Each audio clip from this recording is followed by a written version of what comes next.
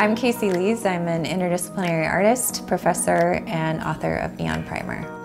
I was really excited to come to the Sentral Artist in Residency program because I haven't ever had a neon studio of my own. And I get to just walk outside of my apartment, walk across the street, and go bend neon signs all day in my studio.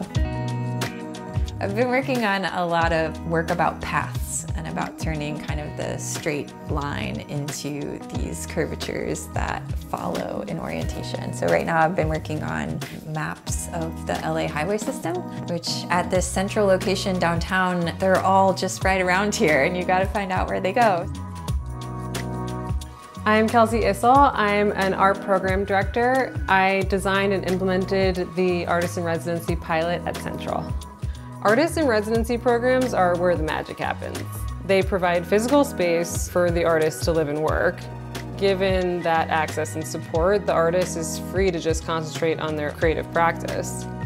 Kacie was an obvious fit for the residency. She's a very experienced bender, bending for 12 years. She's a professor of neon, an author on the subject, and a very thoughtful artist.